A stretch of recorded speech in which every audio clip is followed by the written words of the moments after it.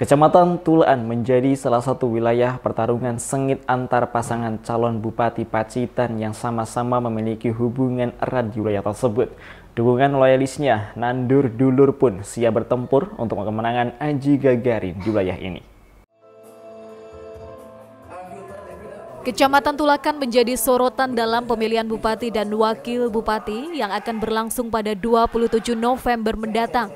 Persaingan ketat antara dua kandidat, Roni Wahyono dan Indra Tandur Bayu Aji, bakal menciptakan dinamika politik yang menarik di wilayah ini.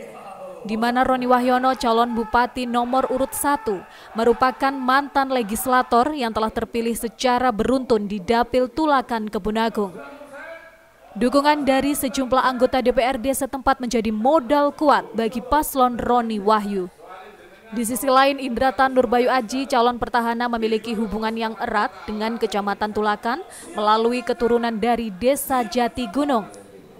Dukungan loyalisnya yang dikenal sebagai Nandur Dulur itu pun siap berjuang untuk memenangkan paslon Aji Gagarin. Akan tetapi di balik itu semuanya tentu kami punya kekurangan. Maka dari itu kami juga punya slogan yang kami tulis pojok atas niki melanjutkan yang baik memperbaiki yang kurang Terus pulau lan Pak Kakari nyuwun donga pangestu panjenengan nyuwun dukungan panjenengan untuk bisa melanjutkan ke periode kedua yang insya Allah untuk menuntaskan PR-PR yang masih tersisa. Ngoten nggih? Siap?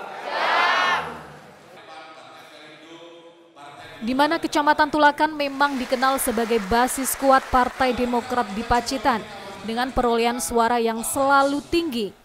Partai koalisi yang mendukung paslon Aji Gagarin meliputi Golkar, PDI Perjuangan, PKB, Hanura, Gerindra, dan PAN yang memiliki potensi dukungan suara mencapai 86 persen.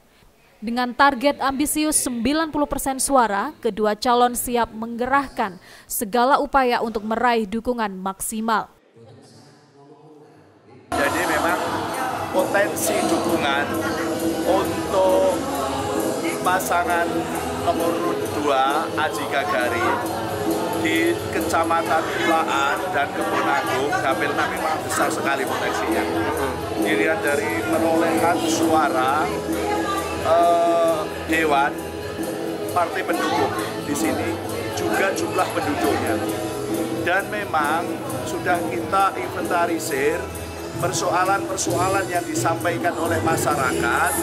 Dan kami pasangan Haji Gagarin berkomitmen untuk melanjutkan perjuangan ini bersama dengan masyarakat. Dan masyarakat juga bisa bisa memahami setelah mendapatkan penjelasan dari kami terkait dengan sesuatu hal yang belum bisa terselesaikan di masa kerja bersama bakti kami yang periode pertama. Dengan latar belakang dan dukungan yang kuat, pertarungan ditulakan dipastikan akan berlangsung sengit. Para pemilih di wilayah ini diharapkan dapat memberikan suara mereka untuk menentukan arah kepemimpinan Pacitan ke depan. Edwin Aji, JTV, Pacitan. Time.